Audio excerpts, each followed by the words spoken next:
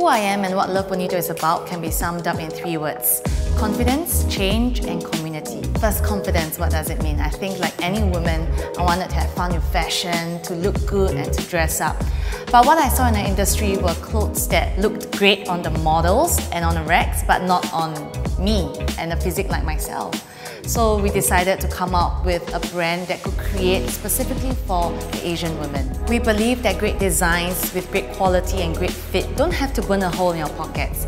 And so it all boils down to really the desire for us to inspire confidence in the everyday woman. And that confidence empowers us to take on the next C, which is change. And not being afraid of change has always been part of the LB spirit. When Love Bonito just started, finances were tight at home and my mom had to work two jobs to support the family. And so that sacrifice from my mom really drove me to ensure that I had to do what it takes to make this work. When Love Bonito started to take off, I decided to quit university to focus fully on the business.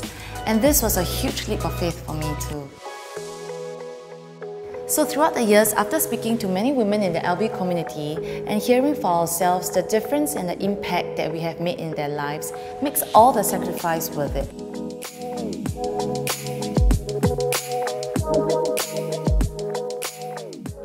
So when we were planning our Funan store, of course the Love Bonito community was our number one priority. Our biggest store today is going to be all about creating meaningful, bigger and better experiences for the LB community. Everything that we do here in Love Bonito stems from our passion for providing our community a safe space to grow in, to allow women to explore new possibilities and to keep pushing the boundaries of style and self.